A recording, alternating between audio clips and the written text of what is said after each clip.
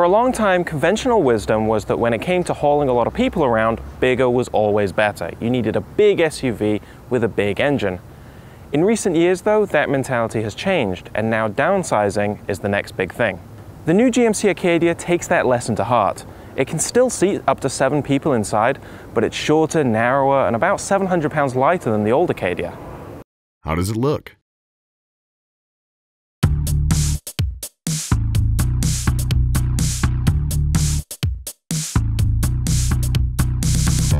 GMC traditionally makes its vehicles slightly butch and boxy looking, but the Acadia is a little bit different. It's a lot sleeker and rounder and more curved than the old one.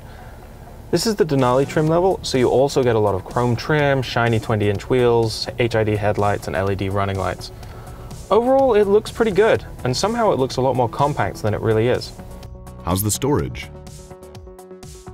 With all three rows of seats in use, there isn't a huge amount of storage space, 12.3 cubic feet, which is about the same as you get in a Ford Fiesta hatchback.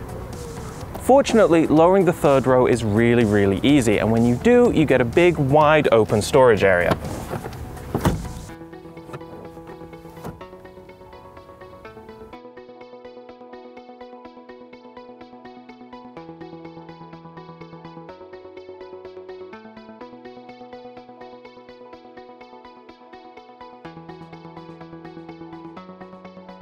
Cup holders abound throughout the cabin, and there's a good amount of storage in the center console up front.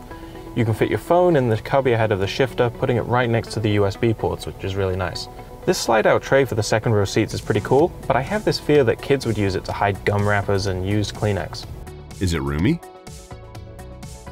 The driver's seat is really roomy in every direction, but there's one sort of unusual issue. Most people buy crossovers in part to sit way up high above other cars, I don't get that sensation in the Acadia, perhaps partly because the dashboard and hood are so high relative to the driving position. The second row seats are plenty comfortable too, with enough space that an adult could ride back here without complaints.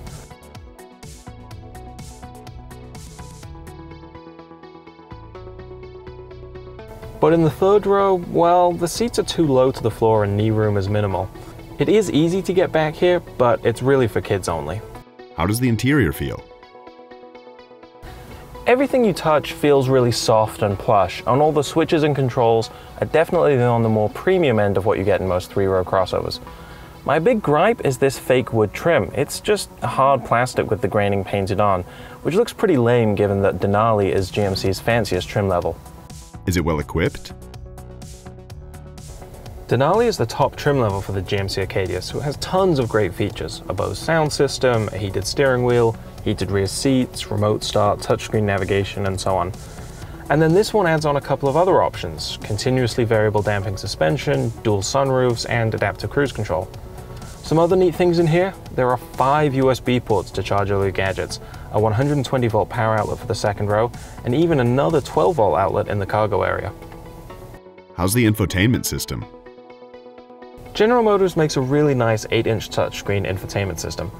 Between the physical controls between the screen and the big bold icons on screen, it's one of the simplest in-car systems to use at a glance. It can do navigation, read text messages, show you the weather forecast, play internet radio, and it even has a 4G LTE hotspot if you pay for the subscription fees. And yes, for you smartphone geeks, both Apple CarPlay and Android Auto are supported. Is it a good daily driver?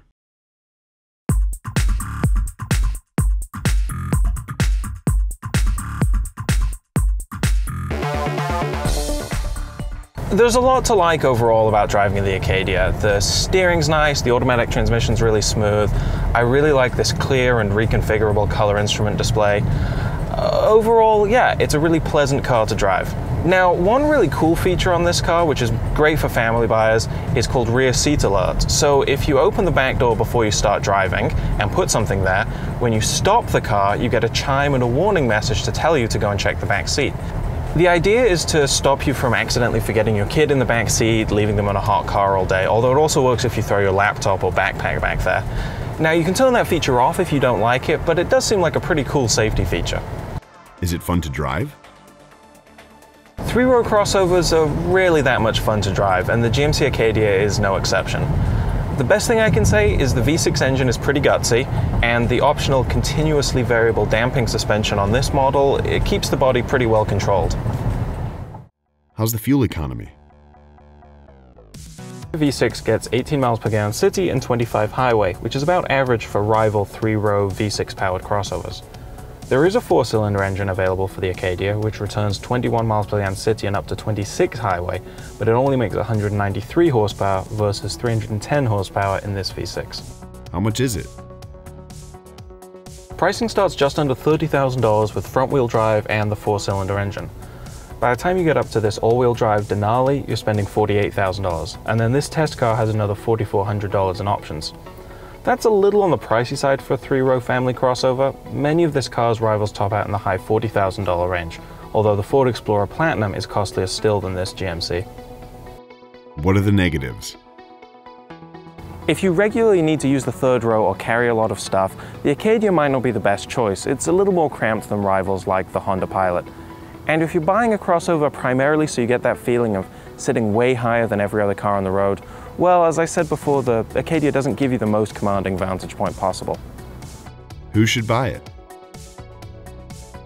The GMC Acadia isn't my favorite three-row crossover, but it's definitely worth looking at if you're shopping in this popular segment.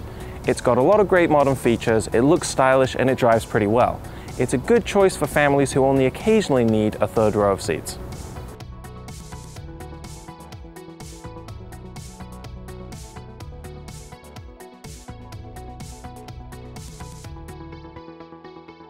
If you liked this Buy video, don't forget there's a new one every Thursday, so make sure to subscribe to our YouTube channel so you see them all. You can also follow us on Facebook and Twitter or at motor1.com, and links to all of those are right here in the description panel. And don't forget to leave a comment letting us know what else you'd like to see in future Why